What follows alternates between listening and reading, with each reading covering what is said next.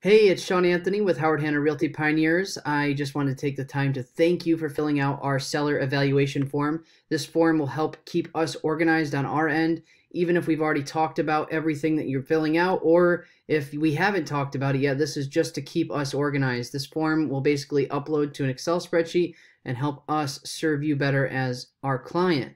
And we'll, we'll be able to go over this in many depths um, outside of this seller evaluation form, uh, whether it's a call, text, either way, the only reason for this form is just to have uh, for us to have this into our database so we can basically keep organized on our end. So we're really looking forward to working with you, and uh, we can't wait to get your house on the market.